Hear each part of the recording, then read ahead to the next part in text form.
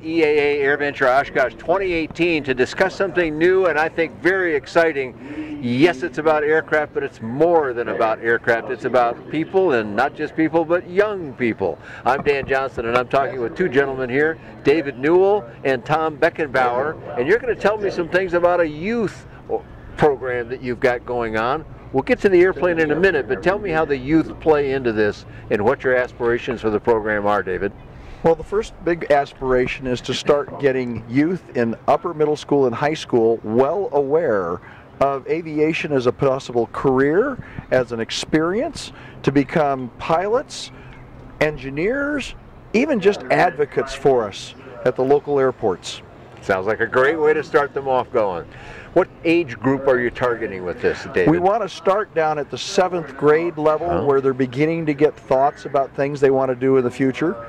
And right now they're living with electronic devices in their hands, and that's where they're getting most of this information. They need to actually see some things with wings in order to get themselves interested. Well, we all love those devices. You can't walk around without seeing people staring at their screens anymore, youth or not youth.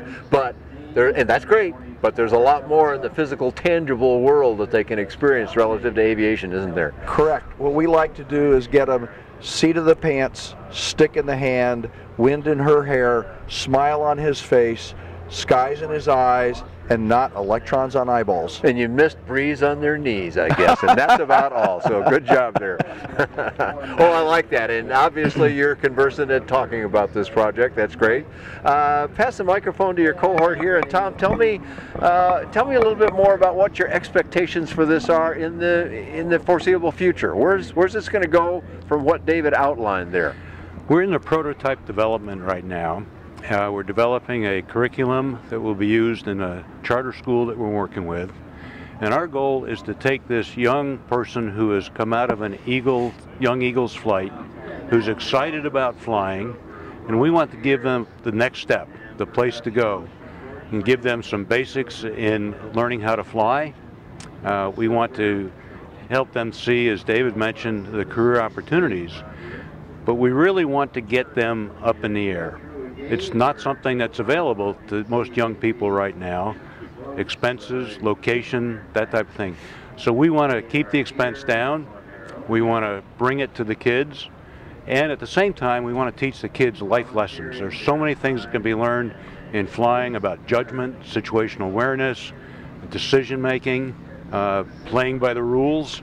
Uh, and those are the types of and the laws of physics in this case. physics, that's right.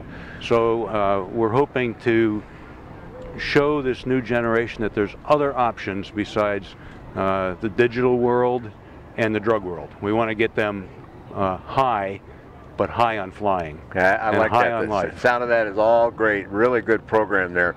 Now, so if you're starting with uh, uh, kids that age, they're about 12 years old then, the youngest of them. That's correct. Is there a range up to some number that you kind of keep it in that range? Well, we're looking to get up to the high school senior. Okay, okay. So uh, age yeah. 12 up to yeah. seniors in high school. Right.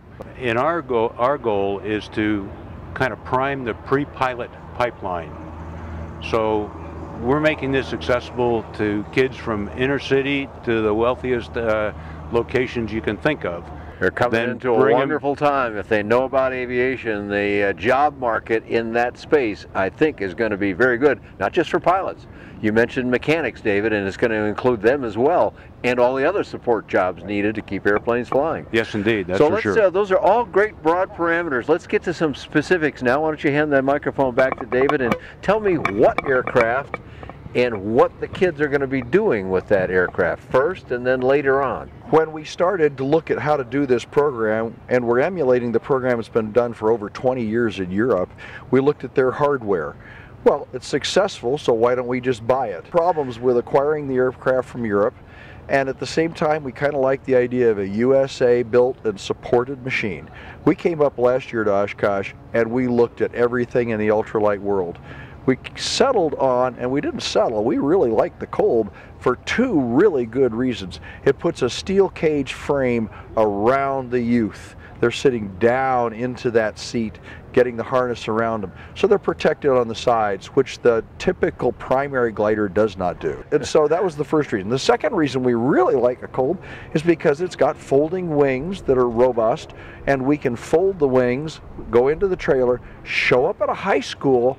We are, we've timed it 15 minutes from off the trailer to wings erect and on what we call the first phase plane on a post where it's sitting and wind jamming. Ah, so with okay. eight knots of a breeze, we can have a youth in there in 15 minutes and he or she is flying in their mind. 10 knots, it's fun. This is a real thing, and we've had children in and actually doing this, and that's kind of a neat thing. This eliminates the problem of I can't take kids to the airport, the bus can't go there, the school program won't do it. And frankly, when we drive it to most airports, they're not all that friendly looking now with all the security stuff around them. Unfortunately, those big black fences around airports are sort of a stay away signal. Absolutely. So we bring something to them that looks like aviation. We're trying to bait it and set the hook. Now, if they're interested at that point and the high school or youth aviation group has a program we can fit with, then we move to what we call flying on the line where we're leashed with a 5 foot, 10 foot, 15 foot lead that lets the airplane do slow speed, taxi, little higher speed elevator and rudder and hopping, little higher speed we start ground skimming and then we can start learning to land left and land right. In Europe, they would have it at about 65 to 80 missions. A student would be good enough at that point, if qualified, to go off the end of the line for a very short free flight in ground effect to a landing target. I can't say enough of what Brian and Helen have done for us, especially when it comes to support. We have had a few bits and pieces that we needed to do again, and it was 24 hours later in our hands, and, and we were ready to go start installing things. That defines good customer And, service. and uh, re- the response has just been wonderful. So that was a key piece. We went down, visited the operation, looked at the hardware. Uh, we had never covered an airplane before. We got to watch the, two vi- of you we're talking about the, now, the right? two of us. Okay, all right. And so uh, we went from no knowledge to now barely experienced, and we did that. But by watching the videos uh, of Brian and Helen doing that expert work, and it, it- we watched hours of videos before we got on the airplane. So the the whole aspect of what they have done for us and then the suggestions they've had. Why don't we take a look at doing this on the final version? So we're in a prototype mode. We're going to learn a lot of things with the kids. This is like any other airplane. Or ground effect machine. You put the lieutenants in you're going to learn things you didn't expect. When we get these kids into our program, one of the first things they're going to do is get a kit and build this Ah, aircraft. Okay, so this is not just learning theory and doing some little bit of flying. You're going to learn about building as well. That's correct. Okay. They're going to learn how to pull a rivet. They're going to learn how to measure and place a rib, and they're going to learn how to cover and then put the coating on it. So they're going to get some real skills uh, developed. Can they follow what you're doing as well, or do they just discover what's going on? And that is, can they see the steps along the way through your web address? Uh, we have three ways that people can keep up with Please what we're doing. educate us about those. Yep, we'll be using our, our web, www.cupertinoclubs.org. Uh, we'll also be on Facebook, Cupertino Aviation Clubs, and we also have a newsletter that we'll be sending out. If people will text CAC, Text to a number. the, the number that they're going to text to is 84576. 84576. Right. We'll put that up on the screen for folks. And then what happens? When they text that, what do they get?